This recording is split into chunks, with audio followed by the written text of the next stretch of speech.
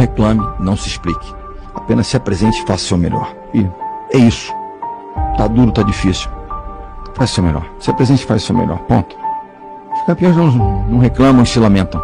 Estão muito ocupados, treinando para se tornar melhores. Vai treinar, vai melhorar, vai fazer, vai buscar uma solução para isso. Mantenha o modo crise sempre ligado. Mas por que o modo crise ligado? Porque ele mantém a guarda alta. Você não vai tomar um soco no queixo. Se você é melhor, você vai ganhar. Pega a guarda alta fazendo o que tem que ser feito. A vitória pode te induzir a uma coisa que é muito, muito grave, que é baixar a guarda. As pessoas pensam que são líderes, não são líderes, estão líderes. Ninguém é. Como é que você mantém uma equipe campeã sendo campeã? Se ela nunca perdeu o espírito de aspirante. Quando você perde, tem um processo de aprendizado, de dor, de sofrimento, e você quer tentar de novo. Você quer tentar de novo. Você não quer desistir, você quer fazer, vamos tentar, vamos tentar e perder de, de novo. Desistir não, assim, não é uma opção, é, é consistência. A gente queria chegar lá.